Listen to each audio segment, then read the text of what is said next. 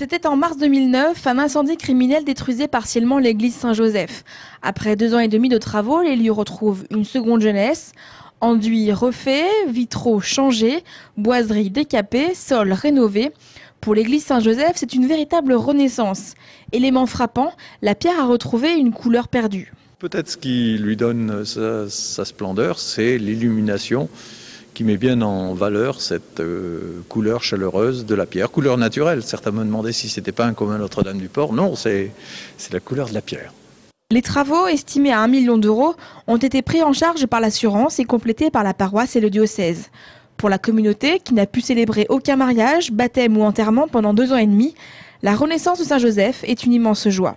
Personnellement, je suis heureux, mais je pense que c'est mon bonheur, c'est de voir toute la communauté chrétienne heureuse, de voir l'ensemble de la population, les commerçants même se réjouissent de voir l'Église, puisque c'est un lieu de vie avant tout, voilà, un lieu de vie et un lieu de la célébration de la communauté chrétienne.